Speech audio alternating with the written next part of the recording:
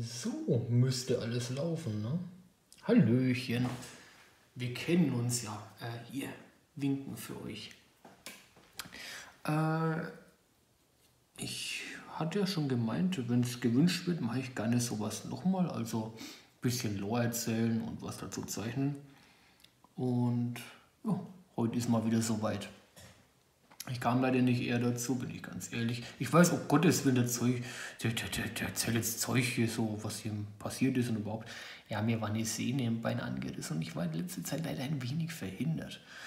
Aber ich äh, werde mich bemühen, dass ich das Ganze einigermaßen über die Bühne bringe. Oh, und ich muss auch sagen, heute ist, äh, gut, ihr habt es im Titel vermutlich eh schon gelesen, äh, Dark Souls 2 dran. Deswegen also, fangen wir mal an. Dark Souls 2, storytechnisch bla bla bla, altes Reich Drangleic untergegangen, bla bla bla.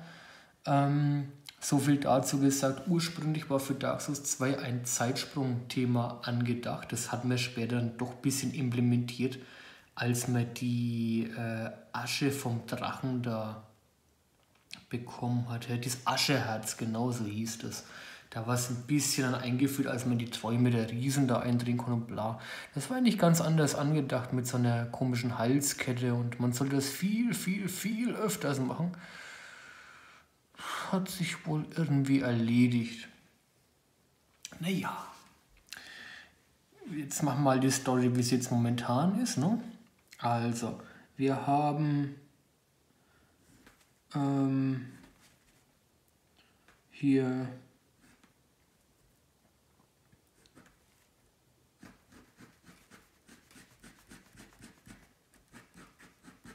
Moment, ich bin gerade am Zeichnen.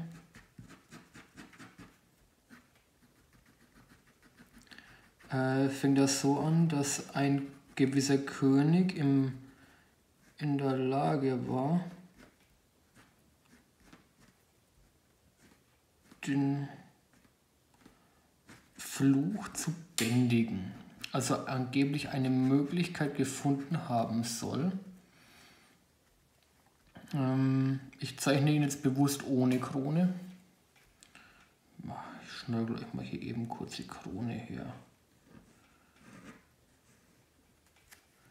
So, zack, zack, zack. Ist das schön genug? Ich denke schon. Das sieht sogar einigermaßen nach der Form aus. Und zwar ist das Wendrick. König Wendrick. Er und sein Bruder kamen in das Reich Drangleic und haben die ganze Sause da. Ja, also er und sein Bruder, Wendrick, äh, und sein Bruder mit dem Namen Aldia, also Aldia, wie der, der, der, der Discounter Aldi, nur mit A nochmal hinten dran, hört sich gleich ein bisschen vitaler an, wie so ein probiotischer Drink, ne? Aldi A. Ähm, kamen nach Grangdick wohl irgendwie, haben die ganze Sause da aufgemischt und wurden wohl irgendwie zu den Königen. Es gibt keinen genauen Anhaltspunkt, wie, warum überhaupt, ob sie aus einem ursprünglichen Königshaus entsprungen waren oder ob sie einfach bloß irgendwie dahergelaufene Abenteurer waren, die es geschafft haben, sich Macht anzueignen. Aber auf jeden Fall, er ist der König von Grangdick. Und tut mir leid, es ist gerade etwas spät. Ich versuche meine Gedanken so gut es geht zusammen. Wenn ich es heute am Samstag nicht mache, komme ich die Woche leider nicht mehr dazu. Deswegen machen wir es jetzt gleich.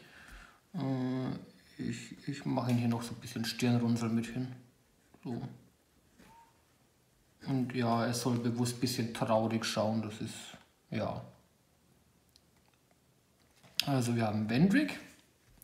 Und seinem Bruder Aldia, jetzt nicht erschrecken, der sieht ein bisschen seltsam aus.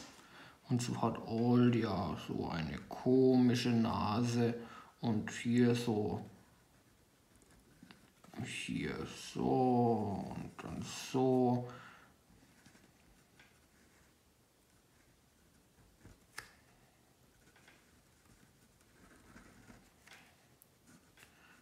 Hier runter die Wurzel alles ein bisschen verzittert malen, denn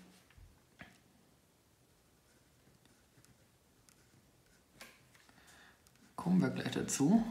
Das ist Aldia. No? Also, hier, zack, zack. Brüder. Soweit ich weiß, ist Aldia der Ältere. Warum sieht Aldia so seltsam aus? Äh, wenn ihr es nachschauen wollt, Aldia sieht aus wie ein Gebüsch. Normalerweise ist das hier auch alles Ranken und ich, ich spare mir jetzt die Details. Man erkennt es einigermaßen, was es sein soll. Ähm, denn ähm, Wendrick ist der, der mit dem Herzen denkt und Aldia ist derjenige, der mit dem Hirn denkt. Die Sache ist die, die beiden haben sich ein Königreich aufgezogen, das eine ganze Weile später, als es in Blüte stand, vom Untotenfluch heimgesucht wurde. Es gab eine Möglichkeit, diesen Untotenfluch aufzuhalten. Und zwar indem sich ein mächtiger Herrscher, also er hier, hätte im Ofen opfern müssen. Seine mächtige Seele hätte ausgereicht, um den Untotenfluch zu stoppen. Das Königreich wäre safe gewesen, die Leute hätten den Untotenfluch nicht mehr fürchten müssen. Bis irgendwann die Macht dieser mächtigen Seele wäre aufgebraucht gewesen und eine neue mächtige Seele hätte hergemüsst. Wendrick wollte das aber nicht akzeptieren. Hier bekommst du noch mehr Stirnfalten. Du bist ja auch ein alter Mann mittlerweile. Äh, Wendrick ist aber auch ein Mensch, der nicht. Er, er wollte gegen den Fluch ankämpfen. Er war aufbrausend, brisant, ist seinem Herzen gefolgt. Es musste doch eine Möglichkeit geben, um diesen Fluch aufzuhalten. Sein Bruder dagegen, Aldia, er war ein Mensch, er hier, mit. Oh, das sieht jetzt schrecklich aus. Ich bin nicht so gut in Gehirnzeichnen aber das soll ein Gehirn sein. Er war ein Hirnmensch, ein intelligenter Mensch. Er forschte dagegen. Wendrick hat sich dagegen auf Mythen, Legenden und Sagen gestützt, wie es Menschen geschafft haben sollen, diesen Fluch zu stoppen, was es für Möglichkeiten geben soll. Aldia hingegen war schlau und dachte, es muss andere Möglichkeiten und Wege geben. Beispielsweise Aldia dachte, als es noch die erste Flamme gar nicht gab, jene, die den Fluch beseitigt hat und das ganze Unheil erstmal losgetreten hat. Da waren die Menschen ja auch alle einfach nur Hüllen. Was gab es zu jener Zeit? Drachen. Das ist absolut richtig. Es gab Drachen. Drachen sind unaffektiert von dem Fluch, sprich der Fluch macht ihnen nichts. So, da dachte sich Olja, was wird All ja hier mal eine kleine eigene Timeline spendieren. Was, wenn man einen Drachen nimmt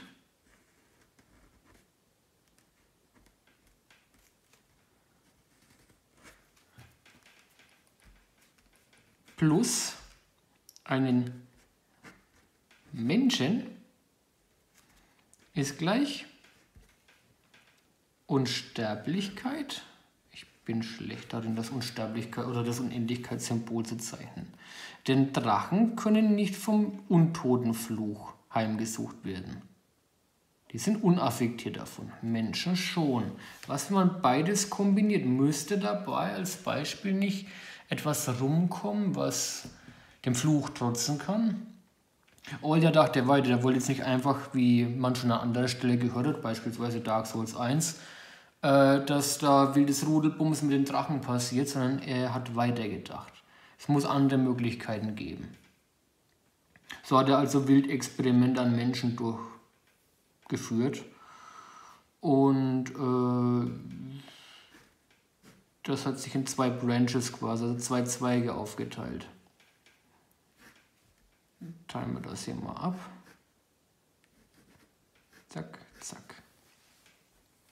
Zum einen hat er schreckliche Experimente durchgeführt, die äh, in schrecklichen Missgeburten geendet haben.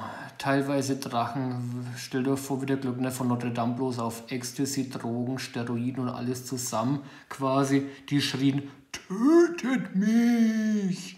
Ja, sie waren in gewisser Weise Drachen, sie lebten auch ewig, aber dieses Leben war eine schreckliche Qual, denn sie waren wandelnde Missgeburten. Ganz schlimm. Aber der Weg war der richtige schon mal. Sein Gedankenweg war gar nicht mal so falsch. Wir kommen noch dazu, warum Alder so aussieht, wie er aussieht. Da kommen wir noch dazu. Noch also etwas mit den Drachen zu tun haben. Das Problem zu jenem Zeitpunkt war aber ein ganz besonderes. Alle Drachen waren RIP, als die beiden schon in Drangleic angekommen waren gab es keine lebenden Drachen mehr in Drangleic. Lediglich Wyverns und es sind nur entfernte Verwandten der Drachen. Die zählten also nicht. Also musste Aldir einen Weg finden. Wie zeichne ich das denn? Wie man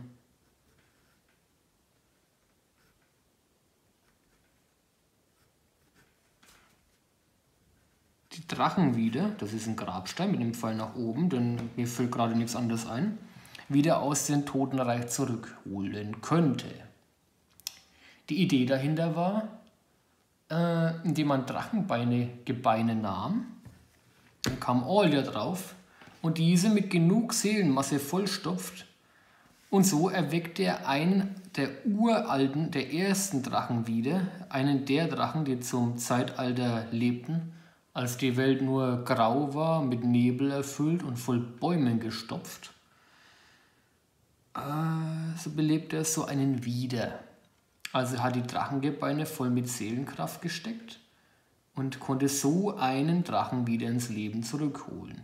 Jener Drachen kann man sogar im Spiel eben wiederfinden, der befindet sich im Drachenhorst. Warum das Horst halt und nicht Drachenhort, fragt mich nicht. Es heißt Drachenhorst. Vermutlich wegen Vögeln, weil ich glaube, da heißt es auch Horst. Bin mir da nicht ganz sicher, bin kein Ornithologe. Auf jeden Fall hat er es geschafft und hat einen der uralten Drachen wiederbelebt. Es war kein richtiger Drache in dem Hinsicht, denn es waren ja nur wiederbelebte Gebeine. Es war nicht die Seele des eigentlichen Drachen vorhanden die steckte eigentlich viel weiter entfernt, zwar noch im Körper des Drachen gebunden und auch dennoch nicht mehr. Das ist schwierig zu erklären. Also, passt auf. Diesen Drachen, ich unterteile das liebe Hen nochmal. So. Die Drachengebeine hatte er in Zell Dora gefunden. Da war ein fast makelloses Skelett oder die Gebeine eines Drachen wurden freigelegt von den dortigen Minenarbeitern. Von dem hat er eine Probe genommen.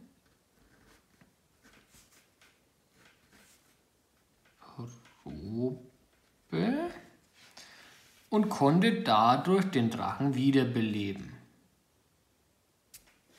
So hat er es geschafft. Der Drache lebte wieder, aber halt sein Körper, zwar mit auch seinen Erinnerungen. Wenn man jenen aber töten würde, würde man nur eine massige Anzahl Seelen bekommen, nicht aber die eigentliche Seele des Drachen. Das ist auch im Spiel so. Aber das Grundwissen war wieder vorhanden. Die Grund-DNA war wieder am Leben. Und so konnte All ja schließlich seine Experimente weiterführen. Und er testete weiter und immer weiter, bis er schließlich menschliche DNA nicht durch Bumsen, sondern äh, etwas, das auch menschliche DNA enthielt, mit der DNA der Drachen kreuzen konnte. Man darf nicht vergessen, der Mann ist schlau gewesen. Das war ein wirklicher Forscher, nicht wie er hier. Wendwick hatte zwar ein gutes Herz, war aber eine Dumpfbacke. Er hier ist schlau gewesen. Wirklich schlau. Und zwar hatte äh, er, Aldir, davon gehört, dass es in einem untergegangenen Reich weit entfernt mit dem Namen Lordran wohl mal ein Wesen gegeben haben soll, das es Manus geschimpft hatte. Manus war ein Wesen geboren im sogenannten Abgrund. Und der Abgrund war der ursprüngliche, naja, der Ursprung des Fluches, wenn man so will. Eine Dunkelheit, die die Menschen immer wieder heimsucht und zugleich auch ihr Ursprungspunkt. Manus war ein sehr mächtiges Wesen davon. Und äh, man könnte sagen, der Abgrund ist die Wiege der Menschheit und die Menschheit äh, ist ihre Ursprungsform eine Hülle. So. Die Menschen fanden aber dann in der ersten Flamme, ne? Moment, so, so, in der ersten Flamme fanden sie eine Seele.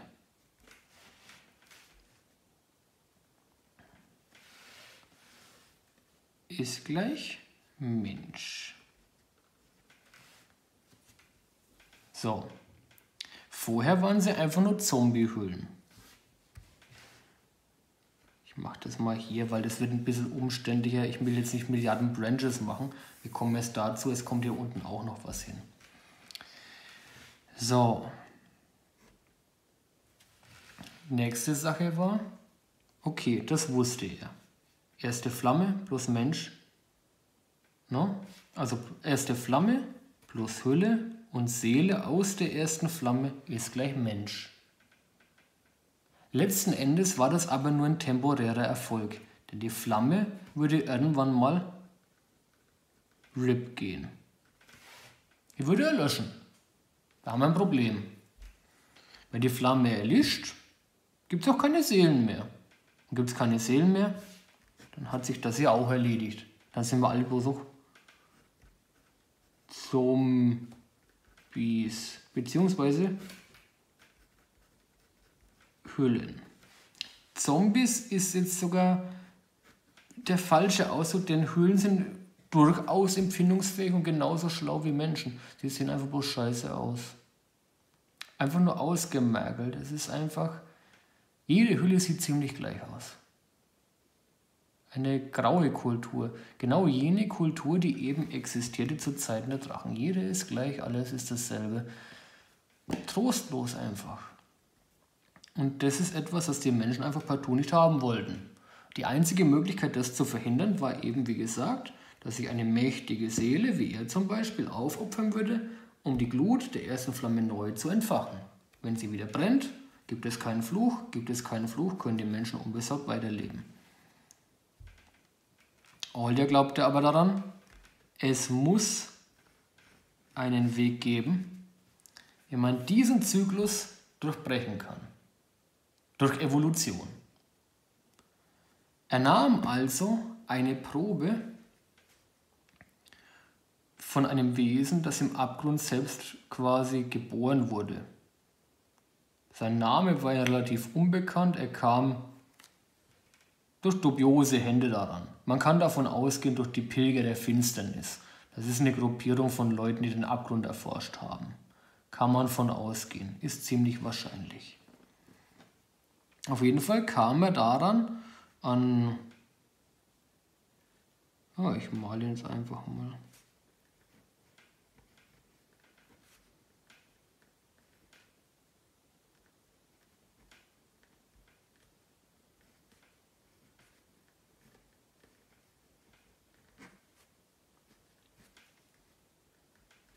Das soll Manus darstellen.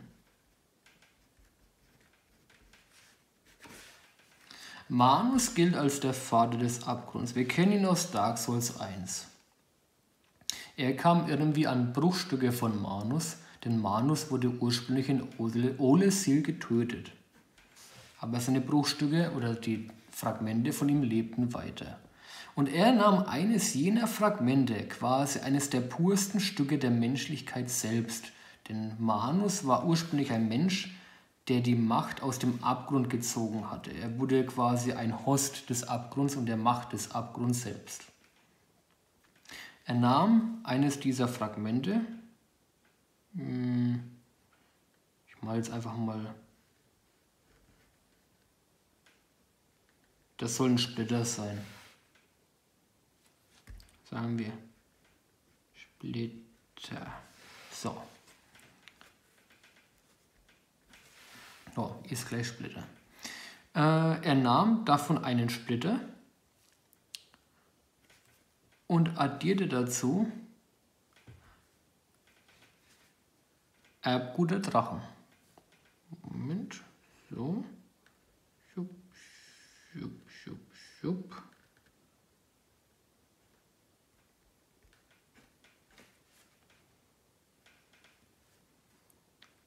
Das ist eine Fiole.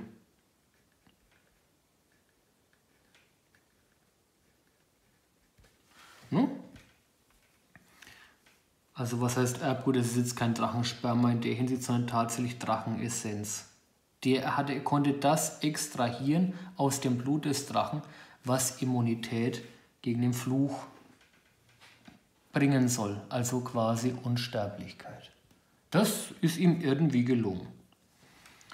Und daraus, aus dem und dem hier, wurde ein kleines Mädchen mit roten Haaren geboren. Fragt mich nicht wie, ich habe mir es nicht ausgedacht, das ist tatsächlich. So.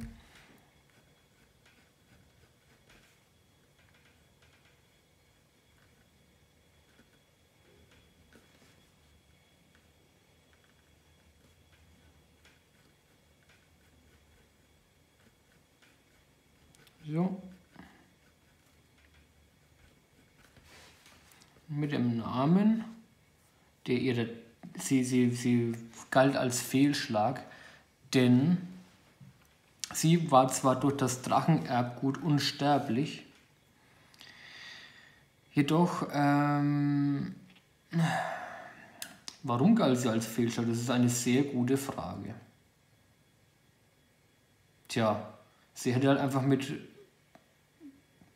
naja, offensichtlich konnte man aus ihr, da sie aus diesen zwei äh, Ingredienzien bestand, also aus dem Splitter von Manus und dem Erbgut eines Drachen, war sie zwar immun und lebte zwar entscheidend viel länger, quasi sie war ein Drachenwesen, ähnlich wie Priscilla und äh, Jorschka und dennoch auch nicht.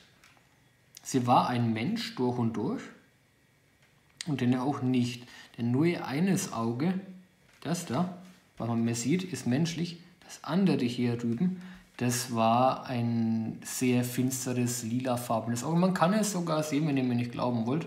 Und zwar, wenn ihr mal wieder in Matschula unterwegs seid, geht einfach mit der Kamera vorsichtig an sie hin. Sie haben sogar dieses Modell eingebaut. Man kann ein lilanes Auge hinter ihren Haarsträhnen erkennen.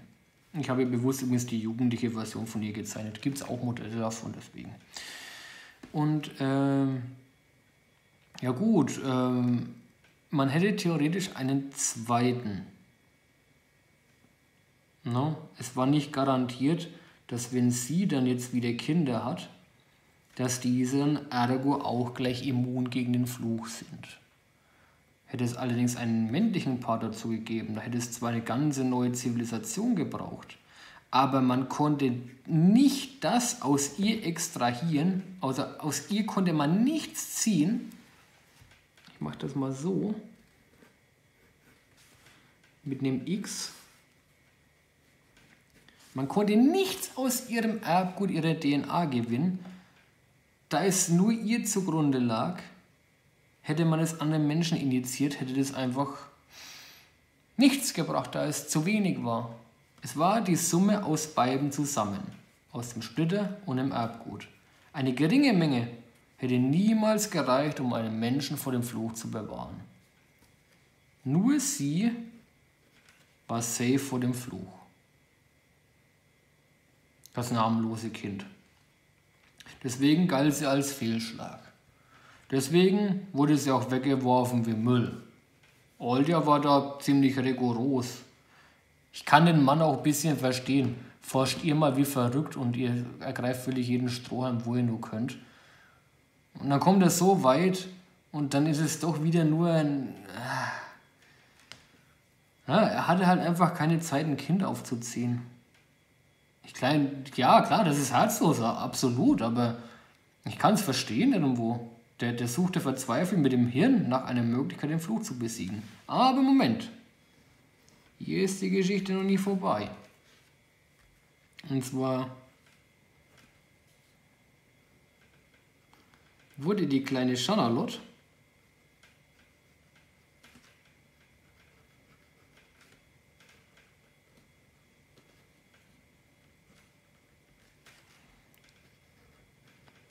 zu dem ähm, Drachen gebracht, den Alja ins Leben zurückgeholt hat. Beziehungsweise fand sie wohl einen Weg dahin. Und der Drache war nett,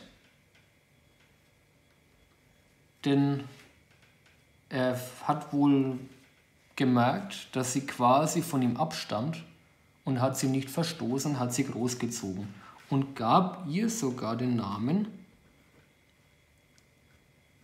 Janalotte. Wenn ich das jetzt richtig geschrieben habe. Kann sein, dass ich mich da verschrieben habe mit zwei T, aber ich glaube, sie wird mit zwei T geschrieben.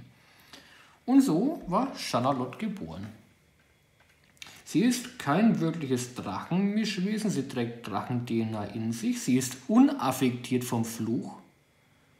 Sie lebt allerdings auch eine normale menschliche Zeitspanne.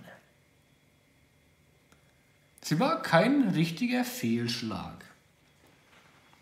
Aldia hatte genau das erreicht, was er wollte. Chanalot hat kein, braucht keine Angst vor dem Fluch haben. Der Fluch kann ihr gar nichts. Denn sie ist eben eine Mischung aus der absoluten Essenz des Abgrunds und der absoluten Immunität gegen den Fluch. Also ist sie eigentlich ein Mensch, der den Fluch nicht fürchten braucht. Das Problem allerdings war, man konnte dieses, diese Essenz nicht teilen, beziehungsweise man konnte daraus nichts extrahieren und somit war sie ein Fehlschlag.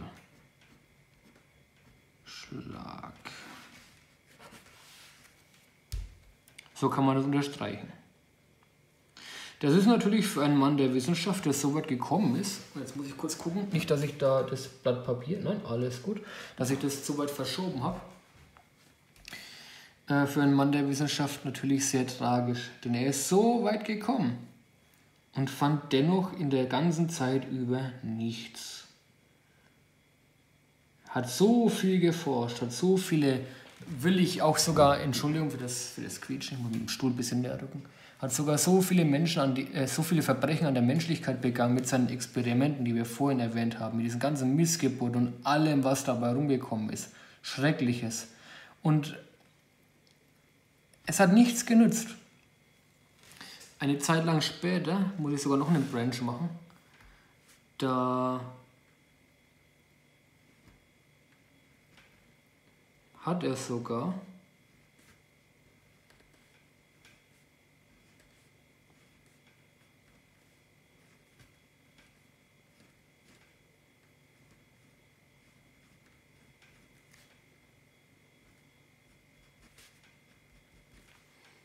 Entschuldigung, wenn das eine etwas kritzigere Zeichnung ist, aber da hat er sogar dann noch einen weiteren Zweig der Forschung in Betracht gezogen, und zwar die Baum. Riesen. Deswegen, ich mache mal hier so das da. Und dann gab es hier noch diesen kleinen Abstecher, dann hat er etwas später unternommen, deswegen hier, ne, Zeitstrahl, seht ihr? Erst so, zack, und etwas später hat er das noch unternommen. Denn die Baumriesen waren auch immun gegen den Fluch. Es war ein ziemlich friedliebendes Volk irgendwo in südöstlicher Richtung oder keine Ahnung. Die, die genaue Lage ihres Königreiches war nie bekannt. Auf jeden Fall waren sie von sich aus keine gewalttätigen oder bösartigen. Sie lebten einfach so in den Tag hinein und sie waren vom Fluch nicht betroffen. Hatten halt lila Haut, waren Riesen. Und ja, aber eigentlich ganz coole Dudes. Sie hatten sogar den Umgang mit den Seelen gemeistert. Moment, du kriegst nur so ein geiles Hula-Röckchen und so ein Bein und noch ein Bein. So. da hat er gedacht, Mensch, aus denen muss man doch auch was gewinnen können, ne? Hm. Ah, tja. Schwierig, schwierig. Aus ihnen konnte man leider noch viel weniger gewinnen, denn sie verfügten zwar auch über eine Seele. Jene Seele war aber absolut inkompatibel mit allem, was Aldia bisher kannte. Sie hat nämlich eine sogenannte hohle Seele.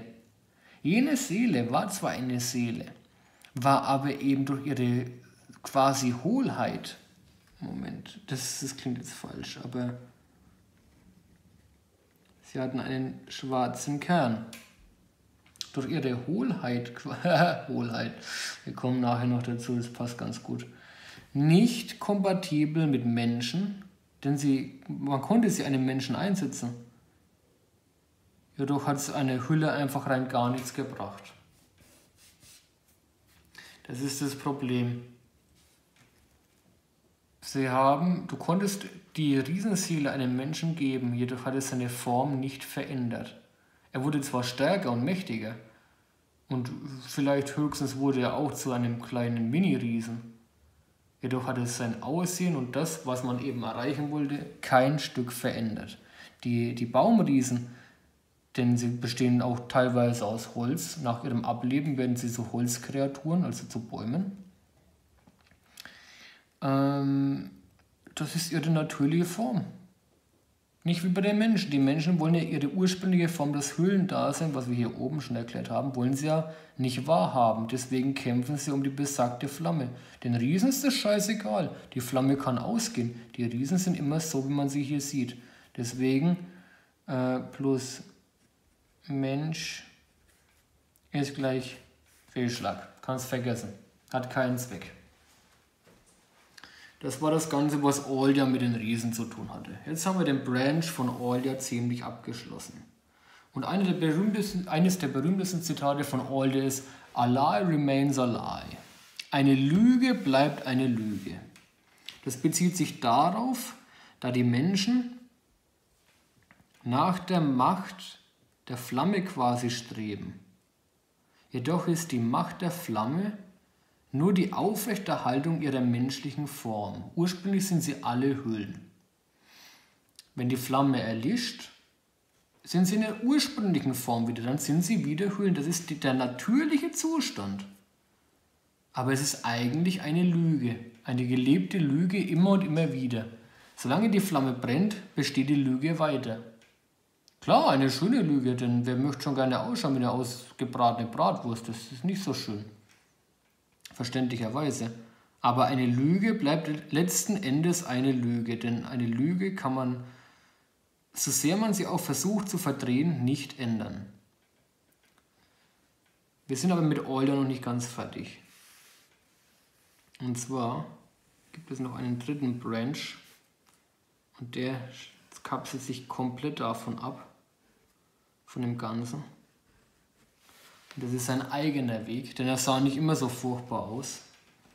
Und zwar fand Aulia in einem entfernten Königreich einen befreundeten König seines Bruders, weit im Norden gelegen, in den eiskalten Landen, tief unter dem Meerespegel, kann man das so sagen?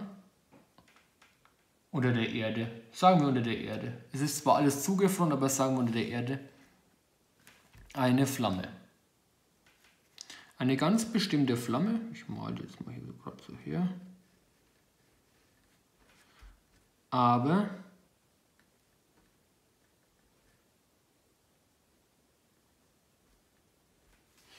jene Flamme ist nicht so gut.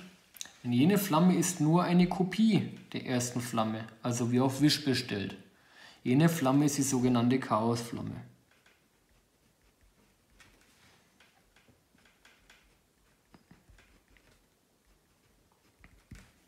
Jene Chaosflamme wurde ursprünglich vor Jahren von einer Hexe erschaffen. In Dark Souls 1 äh, wisst ihr natürlich woher, welche Hexe, ne? die Hexe von Isolith. Jene Flamme ist eine ziemlich gute Kopie dieser Flamme, denn sie ist in der Lage, Leben immer wieder neu zu erschaffen, jedoch auf eine ziemlich verdrehte Art und Weise. äh, Leben wird erschaffen, aber als Dämonen bzw. wildwuchernd und unkontrollierbar. Die andere Flamme ist dagegen quasi gütiger, die ursprüngliche erste Flamme, denn sie vergibt einfach nur Seelen, wenn man so will. Diese hier geht weit darüber hinaus und transformiert das Leben selbst in schreckliche, hässliche Monsterkreaturen. Aber Aldia dachte sich, jene Flamme braucht keinen Nährboden, zumindest nicht so viel wie die ursprüngliche Flamme. Denn sie ernährt sich von jeglicher Art Seelen, egal was ist. Menschliche Dämonen, egal was. Die Flamme ist nicht so wählerisch. Was also, wenn man jene Flamme zähmen könnte, ein Mensch daherkäme, dann wäre doch der Fluch gebrochen. Wie male ich ein Fluchsymbol?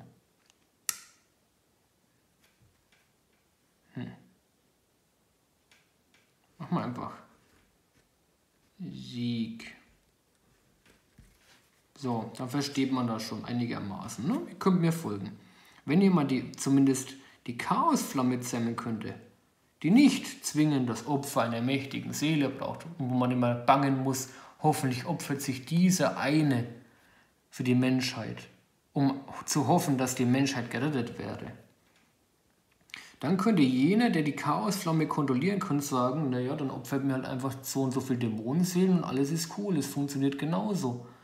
Denn derjenige, der die Flamme kontrolliert und der Kontrolle halten kann, der könnte auch dann die dämonischen Transformationen unter Kontrolle halten. Dann könnte man eben auch nur den Output geben, dass man sagt zum Beispiel, ja, also ich transformiere euch nicht, sondern ihr bekommt eure Seelen, ihr dürft so und so, ne? alles gut. Es wäre quasi der Zyklus durchbrochen gewesen. All das hier, was wir hier sehen, wäre diese Sache durch die Chaosflamme durchbrochen gewesen. Ja gut, Olja hatte allerdings keine Zeit, denn zu jenem Zeitpunkt, als das hier dann geschah, war es schon relativ fortgeschritten.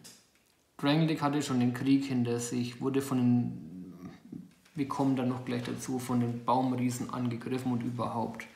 So ist Aldia, das sah noch nicht so aus, hergegangen und hat das Experiment, das er hatte, im Kopf hatte, mit sich selbst durchgeführt. Und es war ein tatsächlicher Erfolg, mehr oder weniger.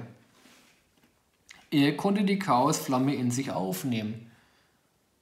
Er konnte sie kontrollieren. Er hatte unglaubliche Macht inne.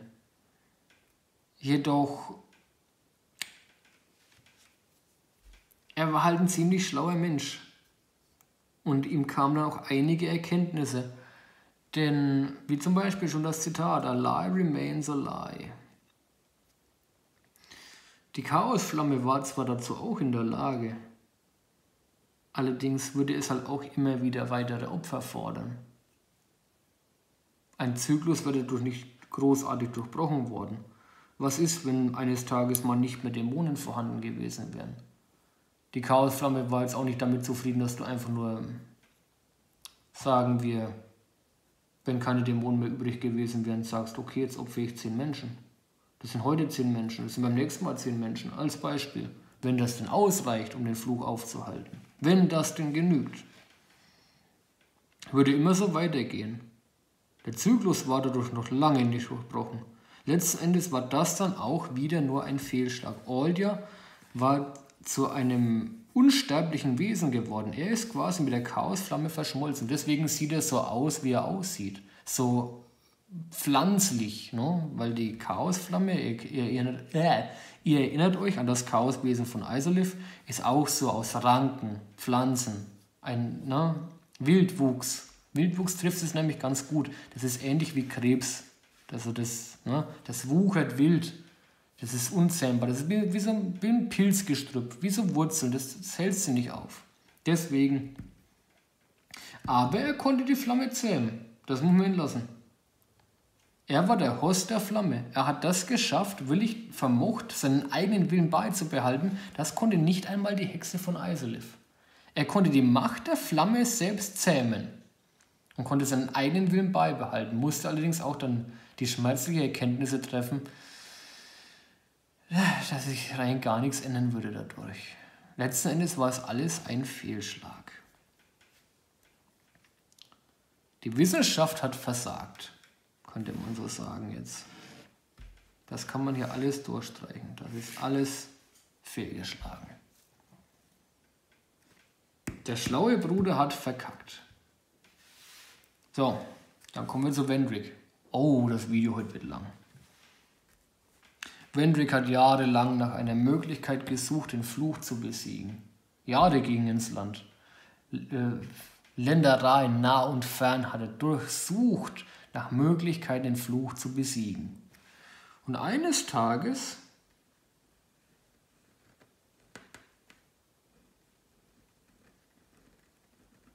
oh,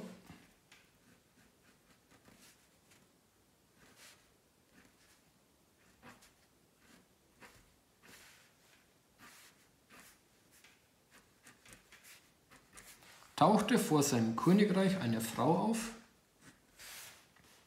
mit dem Namen Na Chandra. Wir nennen sie zu Kurzzwecken, ne? statt Nashandra nennen wir sie Nasche. So. Ist kürzer, geht schneller. Sie warnte König Wendrick vor einem angeblichen Überfall. Muss ich kurz mal schauen. Haben wir alles noch schön im Bild? Ja, wundervoll. Sie warnte ihn vor einem angeblichen Überfall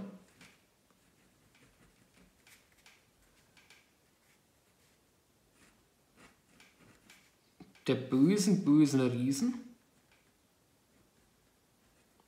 des Nordens, der Baumriesen, denn sie würden sein Königreich überfallen und ihn platt machen wollen, da er eine Gefahr darstellte, weil er wohl offensichtlich zu viel nach einer Möglichkeit suchte, den natürlichen, die natürliche Sache der Dinge außer Kraft zu setzen. Denn sie sind ja ohnehin unaffektet, die Baumriesen.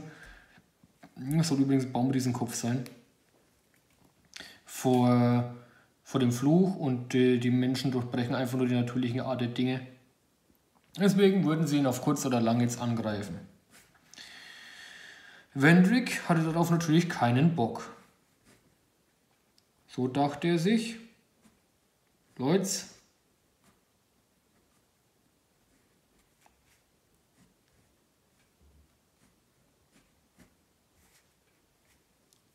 wir machen jetzt Krieg mit den Jungs.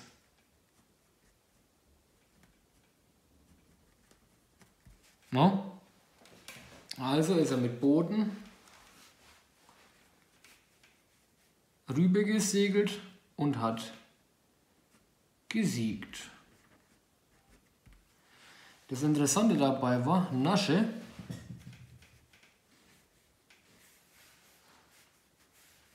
alles das hier war eine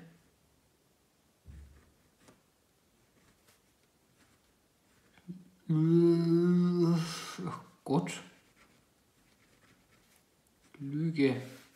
Ihr habt das jetzt nicht gesehen, das ist einfach nur Lüge. Lasst mich in Frieden. Es ist schon spät und ich versuche es noch durchzuziehen. Denn Nasche ist auch ein Fragment ursprünglich gewesen, wie das hier, von Manus. Wenn man diese Fragmenten genug Zeit gab, und sie irgendwie in Kontakt mit Seelen kam, wuchsen sie. So. Und nahmen interessanterweise. Jo, jo, jo, jo, jo, jo. Das ist jetzt aber schlecht gemalt.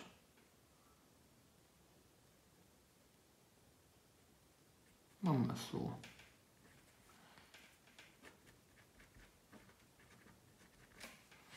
Die Form von Frauen an. Ich weiß, lasst mich in Frieden, es ist schon spät. So, besser.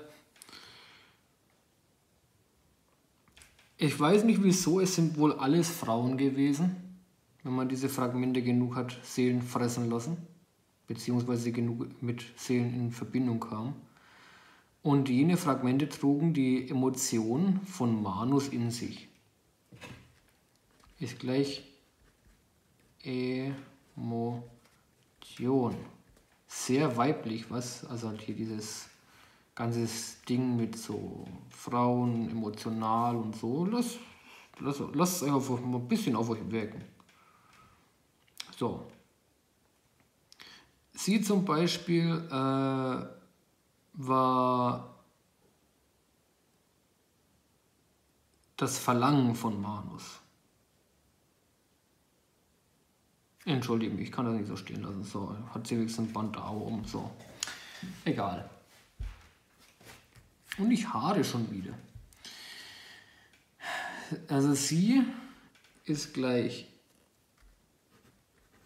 verlangen. Es gab noch mehrere davon.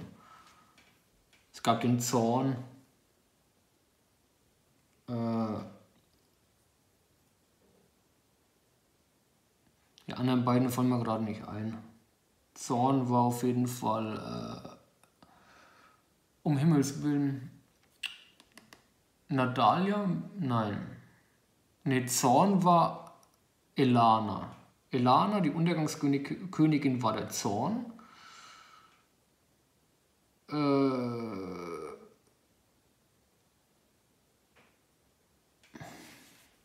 ich will jetzt keinen Scheiß erzählen, egal. Wir, wir, beziehen uns nur auf diese Familie jetzt erstmal. Das reicht erstmal.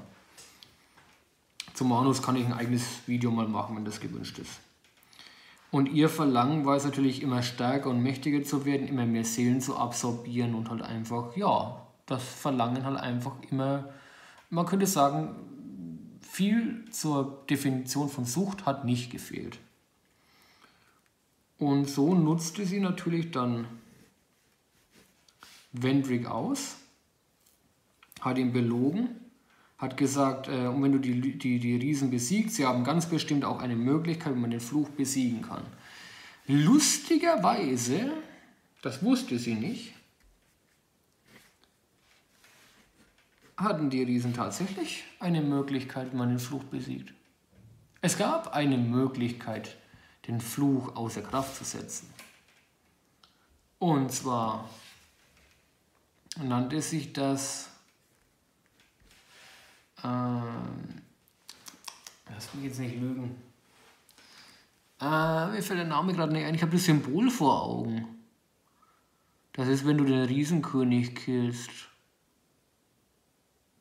Gemeinschaft der Riesen, Mitfühlschaft, irgend sowas. Ach, Jesus, wenn es jetzt drauf ankommt, ne? Mm.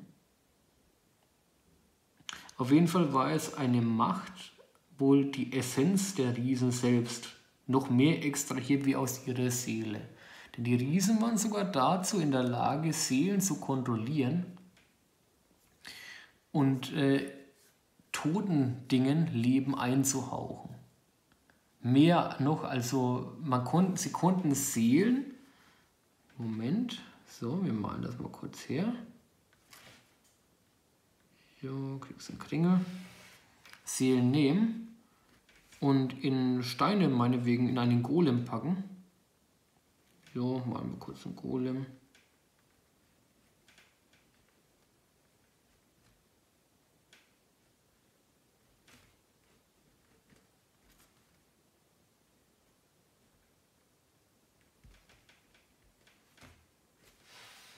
Golem packen und diese für sich arbeiten lassen. Jene Golems, da sie keinen verfallenen Körper hatten, konnten so lange zum Beispiel Arbeiten verrichten, bis die Macht der Seele abgeklungen war.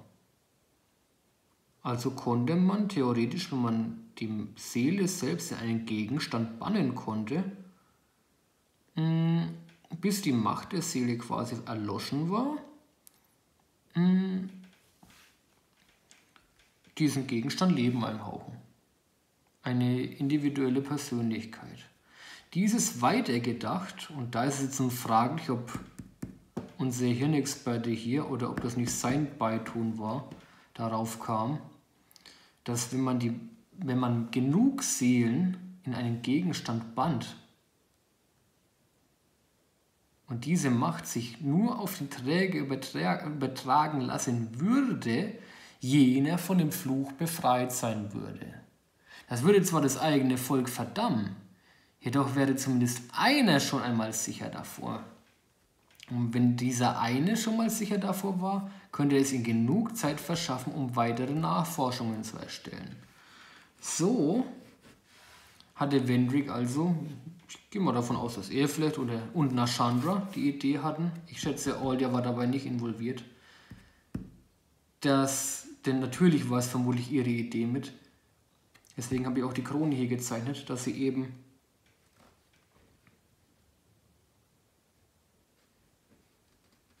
hier eine Krone erschaffen würden, vollgestopft mit Seelen, also so richtig proppenvoll, richtig arschvoll mit Seelen, allerhand Seelen, Hauptsache viele Seelen, plus Mensch ist gleich Unsterblichkeit keine Angst, also beziehungsweise keine Angst mehr vor dem Fluch haben. Wer diese Krone trägt, ist von dem Fluch frei. Denn in dieser Krone wohnt so viel Seelenmacht inne. Es würde Milliarden Jahre dauern. Überlegt euch mal, eine Seele wird 100 Jahre alt. 100 Seelen werden 1000 Jahre alt. Und wir sprechen nicht von herkömmlichen Seelen. Jetzt gehen wir mal von Dämonenseelen aus oder noch mächtigeren Seelen. Und die wurden in die Krone eingebaut. Das würde so lange andauern. Du bräuchtest den Fluch nicht mehr fürchten. Ist gleich Fluch besiegt. Entschuldigung, es ist hier etwas knapp vom Platz hier. Zugleich wäre das da um Nom Nom für Nasche. Wieso? Naja, schau sie mal an. Das ist wie wenn du ein Schnitzelsandwich auf dem Kopf tragen würdest, weil sie will ja immer mehr Macht und, und um Himmels Willen, diese, diese äh, Krone ist wie ein Bankett, das du auf deinem Kopf tragen würdest. Und so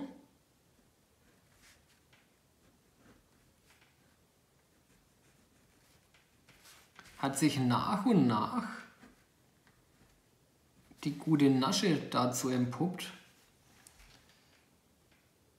äh, dass ihre Absichten gar nicht mal so gut waren. Es heißt zwar jahrelang, sie hat dem Königreich einen Frieden gebracht. Sie hat das Königreich vor dem Angriff der angeblich bösen Baumriesen bewahrt. Aber die waren ja niemals böse.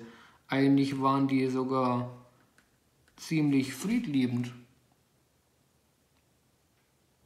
Diese haben natürlich dann Rache ersonnen und haben einen Konterangriff gestartet haben das Königreich angegriffen und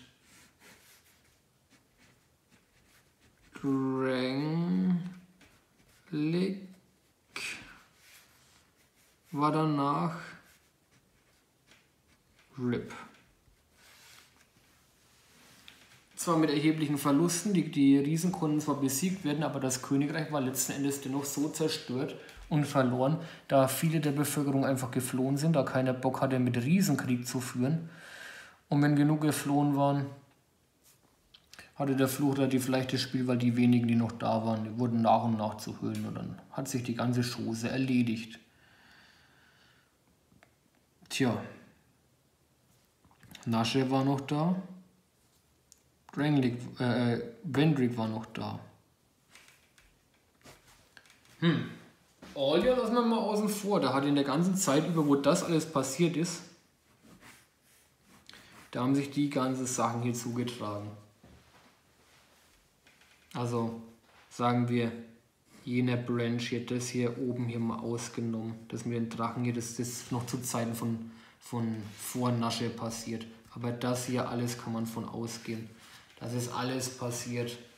Während Wendrick meint, er muss auf seine neue Ische jetzt hören, weil nachdem sie die, die Baumriesen zerlegt hatten in ihrem Reich, hat er sie geheiratet und umgekehrt halt. Obwohl sie aus dem Nichts aufgetaucht ist und auf einmal von dem Krieg gekündigt, was absolut lächerlich war, weil er hätte zumindest mal mit den Leuten reden können, aber nee, da hat er einfach mal der blonden Frau jetzt vertraut und gedacht, Mensch, ja, die, die, diese Arschlöcher, das muss so sein, weil die sind jetzt böse gesonnen, aber eigentlich haben die noch nie was gemacht. Ich habe mit denen noch gar nicht geredet, aber war eine, war eine tolle Idee, Wendrick, hast du super gemacht. Sehr diplomatisch. Sofort gemerkt. Man hat sofort gemerkt, dass du ohne deinen Bruder einfach nur ein Vollidiot bist. Muss man wirklich so sagen. Naja, Wendrick hat auf jeden Fall immer mal gemerkt, dass seine Alte eine ziemlich böse, miese Sau ist und hat dann nach Wiedergutmachung gesucht. Er hat aber nicht, äh, ich, natürlich hat er auch den, den, er wollte sich dann letztendlich sogar selbst opfern, wollte zum, das Ding sieht ja so aus, so, Ofen der ersten Flamme, Ofen, es gibt mehrere, es gibt nicht nur den einen Dark Souls 1, sondern tatsächlich auch das Ding hier ist ein Hochofen kann man nachgoogeln. Es gibt welche, die sehen so aus, stimmt schon.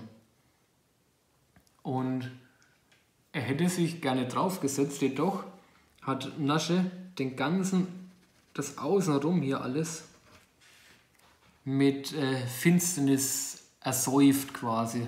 Das wurde, der, der Ofen der ersten Flamme befand sich unterhalb Schloss Dranglich. Und äh, sie hat den ganzen Zugang zum Ofen mit Finsternis quasi erfüllt und quasi den direkten Zugang zu verweigern. Zu jedem Zeitpunkt hatte sie auch die, die, die, die Gunst der Riesen, ich glaube Gunst war es, und der einzige Weg dahin war über die Gunst der Riesen. Die Gap war einfach, also der Abstand war zu groß, das konntest du nicht überqueren. Gut, hätte er vielleicht großen Hupf gemacht, hätte es Wendrick vielleicht schaffen können, aber ich meine, der war schon alt, vermutlich hätte er es nicht geschafft. Also der Zugang war ihm verwehrt.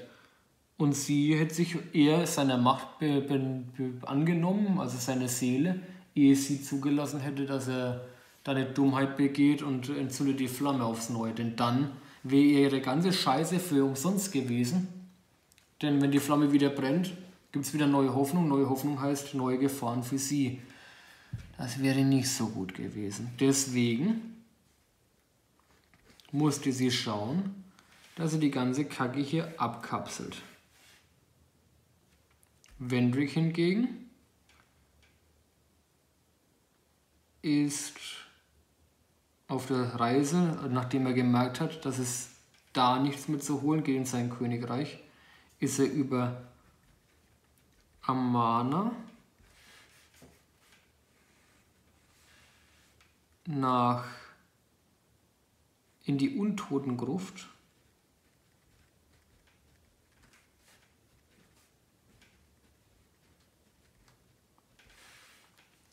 Denn dort gibt es die sogenannten Finitos.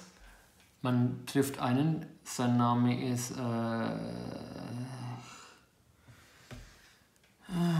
Egdane.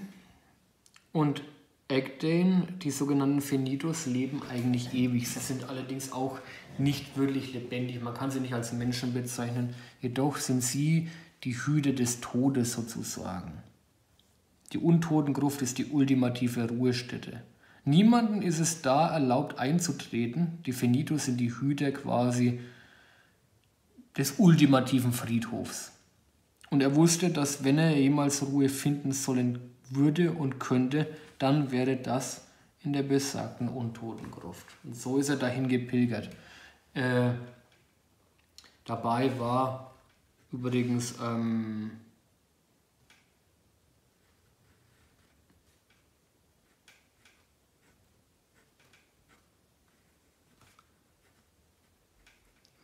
Well, Wellstadt.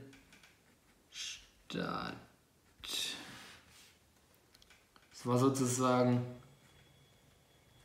der Spezi vom König. Der sollte sicherstellen, dass zusätzlich niemand herausfindet, wo er hingekommen ist. Denn Nasche sollte nicht herausfinden, wo sein Verbleib war. Denn er ist in die Untotengruft, um da zu krepieren, beziehungsweise da zur Hülle zu werden. Und äh, er wollte sicherstellen, dass Nasche um keinen Preis an seine Seele kommt. Weltstadt hingegen hat seine Seele äh, so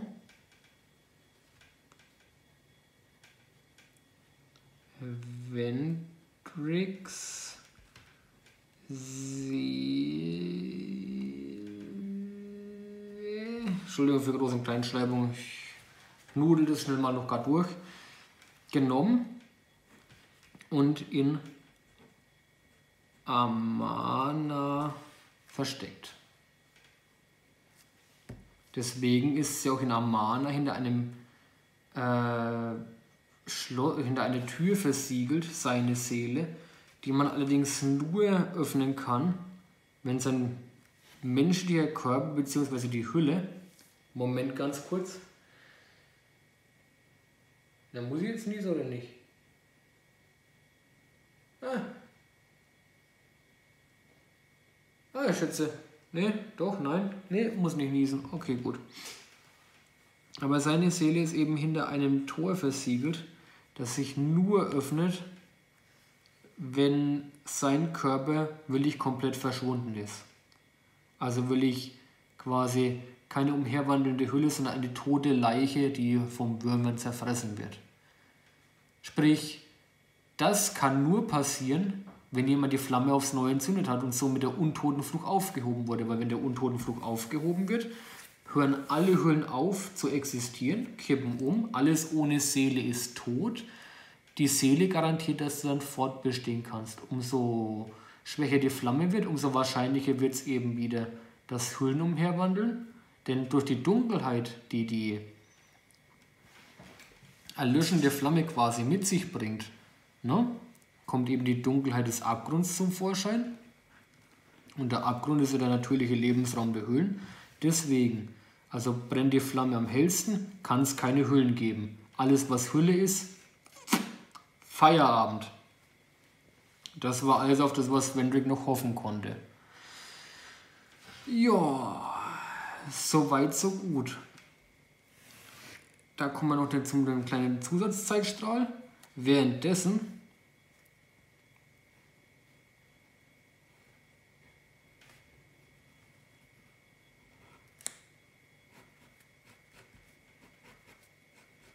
Da hat Wendrick nicht mitgerechnet, aber während seiner Zeit im Exil in der Untotengruft hatte er Besuch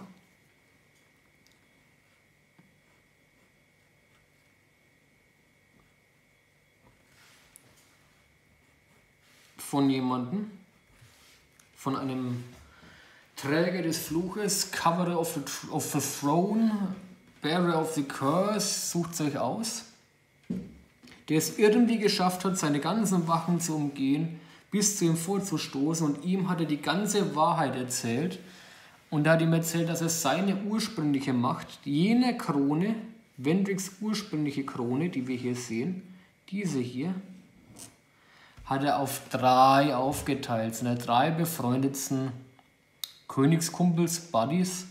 Eine zum Beispiel hat er an dem übergeben, einen Teil davon, wo Weltstadt hier ist. Eine andere hat dann jemand übergeben, wo die Chaosflamme her war. Das wissen wir von Oldia. Die liegt weit im Norden. Er hat einen Teil dieser Macht übergeben an jeden König, an den Elfenbeinkönig, damit er lange über diese Flamme wachen sollte. Und einen weiteren Teil hat er an jemanden übergeben, der mit der ganzen Show sehr nichts zu tun hat, der bloß flüchtig damit zu tun hat, denn auch sein Königreich wurde schließlich von einem Kind von Manus heimgesucht. Aber das ist scheißegal.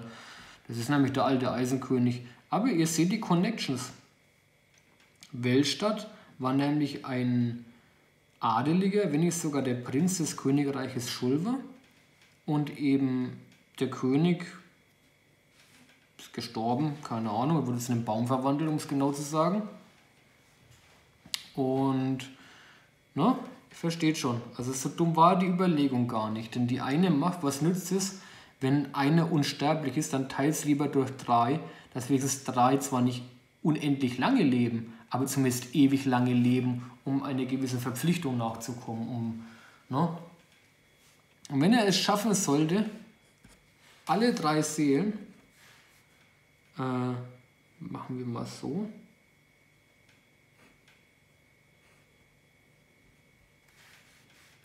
drei, die drei Kronen, denn die, waren, die, die Macht war in den drei Kronen. Wendrick hatte die vierte, also quasi die, die Master-Krone hatte er. Also er brauchte die Krone des Eisenkönigs, des untergegangenen Königs von Schulver und des Elfenbeinkönigs aus Eleumlois. Wenn er ihm die drei Kronen bringen würde, könnte er wieder die ursprüngliche Masterkrone herstellen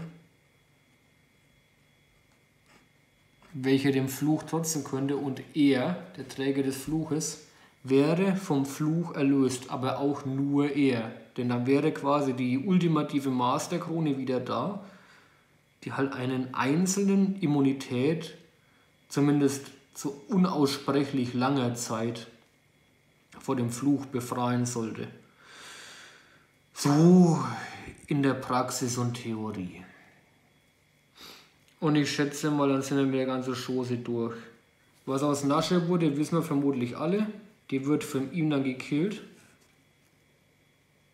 Und an ihm, an dem Träger des Fluches, liegt es dann letzten Endes, da er auf seiner ganzen Reise so viel Seelen gesammelt hat, zündet er sich selber dann an, um den Fluch wieder aufzuhalten und wieder für einige Jahre Ruhe zu stiften oder scheiß da drauf geht, lässt die Welt in Dunkelheit versinken, beziehungsweise stellt den Status quo wieder her dass Menschen wieder das sind, was sie sind. Wir wären wieder bei der Catchphrase von Aldia. A lie remains a lie. Denn der ursprüngliche wahre Zustand der Menschen ist die Hüllenform. Die menschliche Form ist zwar schick und schön, aber es ist einfach nicht der natürliche Zustand. So, um Himmels Willen. Und das ist die, die Familiengeschichte von Wendrick, seinem Bruder und Nasche. Und ein bisschen vermutlich auch vom Träger des Fluges. Dann sag ich mal Dankeschön fürs Einschalten. Ich gehe jetzt dann ins Bett. Um Himmels Willen, es ist kurz vor eins. Also danke für euer Interesse. Es war wunderschön. Ich hoffe, ich konnte es auch einigermaßen erklären. Und wir sehen uns dann beim nächsten Mal. Also tschüssi.